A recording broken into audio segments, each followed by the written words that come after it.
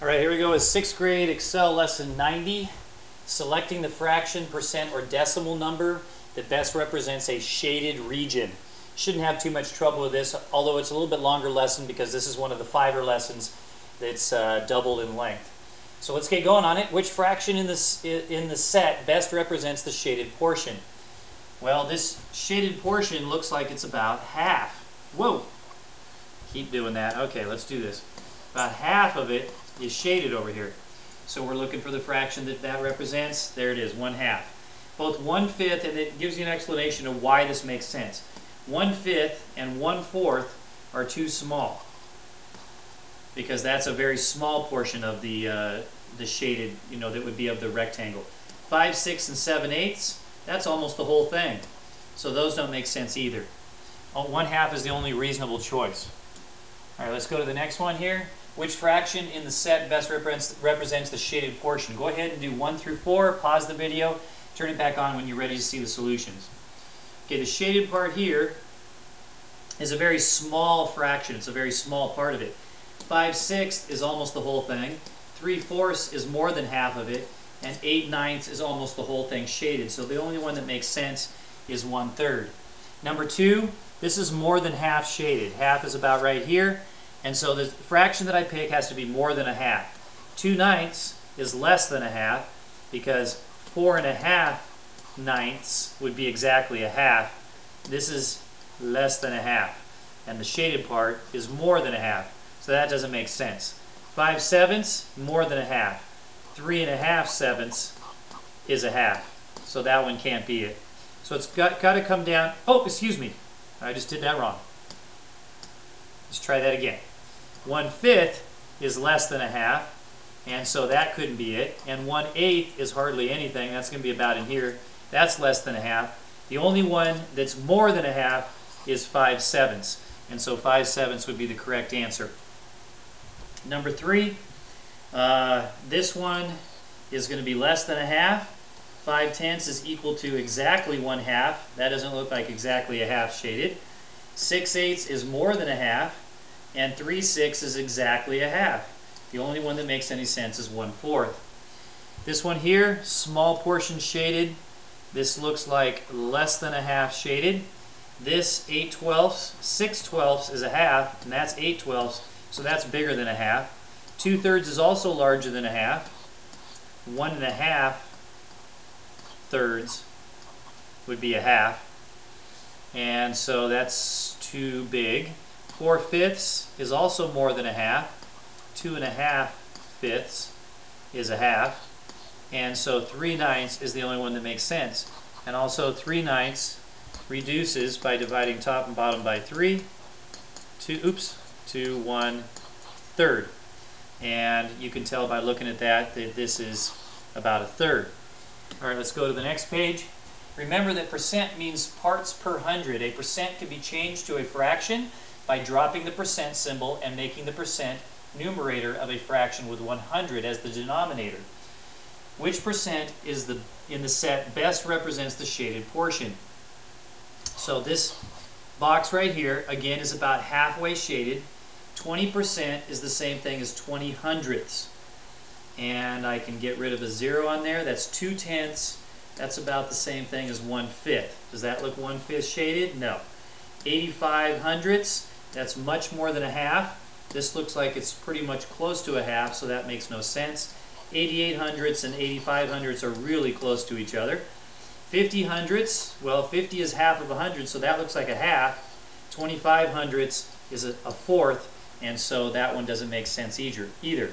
And all that is explained to you right down here. And we're going to go on to the next page. So which percent is the in the set is the best represents the shaded portion? Go ahead and answer 5 through 8, pause the video, and then turn it back on when you're ready to see the solutions. 83%, that's 50% is half, and 83% is more than half. This is not more than half shaded, so that makes no sense. 33%, we'll come back to that one because that is less than half, and that's, that does make sense, but let's check the others. 75%, more than 50%, doesn't make sense. 89%, even larger than that, much more than half, doesn't make sense. So the only one that could possibly be the answer is 33%. Number six, this is more than half shaded. Half would be about right here. So we're looking for a percent that's more than 50%. Less than 50%, less than 50%, less than 50%. That's the only one that makes sense for that one. This one's barely shaded at all, which means it's going to be less. This is 50% right here. It's going to be less than 50%. All three of these are greater than 50%, so 25% makes sense. This one is greater than 50%. 50% would be about right in here. And this one is less than 50%, and that one's less than 50%. So now we have to decide between 66% and 90%. 90% means 90 out of 100, which is the same thing as 9 tenths.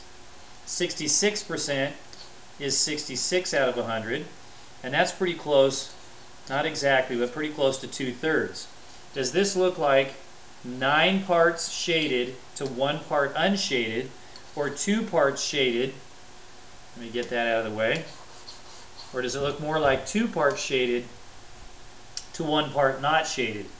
And if I split it right there, you can see I have 1, 2, 3 three thirds with two of the thirds being shaded. 66 hundredths makes much more sense than the 90%, so that one's 66%. All right, let's go to the next page. A decimal number can be written as a fraction having a denominator with the same place value as the decimal number. So 1.3, you already know, is the same thing as 1 and 3 tenths. 3 and 24 hundredths is 3 and 24 hundredths. 7 and 562 thousandths can be written as a mixed number 7 562 thousandths. Notice there's three numbers after the decimal point, three zeros. Two numbers after the decimal point, and two zeros right there. One number after the decimal point, one zero in the denominator. Here we have four numbers after the decimal point, and four zeros right there. So this is 4 and 718, 7,018 ten thousandths. Convert, convert each decimal number to a fraction. Determine which decimal number in the set best represents the shaded portion. So for the first one here, you can see that's less than a half, and 0.25 is the same thing as 25 hundredths. 0.53 is 53 hundredths, 0.75 is 75 hundredths, and 0.47 is 47 hundredths. 53 hundredths and 75 hundredths are both larger than a half. 47 hundredths is really close to a half, and you can see this is not that close to a half. 25 hundredths is the same thing as a fourth. This looks like more like a fourth, so that's the one that makes sense, and that's what they choose. Number 10, uh, you can see very little has been shaded, so we're looking for a decimal that's representing very small portion of the whole. 55 hundredths can be written like this. That's about a half, actually over a half. That couldn't be it. 40 hundredths, a little bit under a half. We'll come back to that one. 20 hundredths, quite a bit under a half. 68 hundredths is a lot more than a half, so it couldn't be that one. So now we have to choose between 40 hundredths and 20 hundredths. Well, here's a half. That's 50 hundredths, so 40 hundredths would be about in there. That's going to be a little bit too big. It's going to be more like 20 hundredths. 20 hundredths can be reduced to 1 fifth, and 1 fifth does make sense with this one. Let me clear this off and kind of show that to you a little bit better. If I split this like this, you can see I have one, two, three, four, five parts and that part right there is one of the five parts. 20 hundredths, you can divide top and bottom by 20, and that's equal to 1 fifth. And that's what you're seeing right there.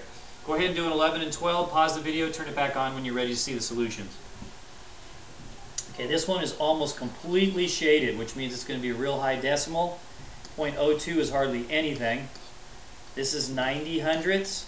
That one's looking pretty good. Let's come back to it. 75 hundredths. That's like 3 fourths. And that can't be 3 fourths. It's more than that. 66 hundredths is, like we mentioned earlier, is about 2 thirds. and there's no way it's going to be two-thirds, so the only one that makes sense is the 90 hundredths. Last one, this is shaded about halfway through, so we're looking for the decimal that means about a half. 20 hundredths, much less than a half, not going to be it. 50 hundredths, that is a half, that's going to be it. 95 hundredths is almost the whole thing, hasn't been shaded almost all the way. 67 hundredths is about two-thirds, and you can see that's not two-thirds. So 0.50 would be the correct answer. Thanks for watching.